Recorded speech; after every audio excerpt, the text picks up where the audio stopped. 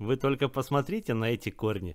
Самый легкий и простой способ укоренить любой черенок. После этого видео продавцы корневина меня возненавидят. Природными стимуляторами роста корней являются, конечно же, многие из вас знают, это ива, мед, картошка, алоэ и, конечно же, дрожжи. Подписчики канала видели, как мы готовили раствор при помощи ивы. Брали веточки ивы, опускали их в воду. Когда ива пускала корни, наш раствор для черенков был готов. Потом вынимали веточки, опускали туда наши черенки, и они прорастали быстрее.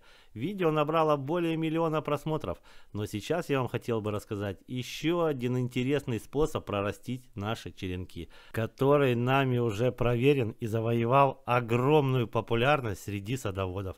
Нам понадобится взять литр воды и высыпать туда один пакетик 100 граммовый сухих дрожжей – Далее черенки помещаем в эту воду для дальнейшего укоренения. У нас в деревне один опытный садовод-огородник, старец, проращивает своим методом черенки. Для этого он использует картошку. Берет одну картофелину, прорезает в ней отверстие, так сказать глазки, вставляет туда черенок и потом эту картофелину засыпает землей. Сверху ставит баночку – Получается такой мини-парник. Говорит, что этот способ для него самый легкий и самый проверенный, самый лучший. Если кто-то из зрителей канала тоже такими способами укоренял черенки, напишите, какой способ вам понравился больше. Будет интересно почитать. Всем здоровья, удачи, любви и встретимся завтра. Пока-пока. Пока. -пока. Пока.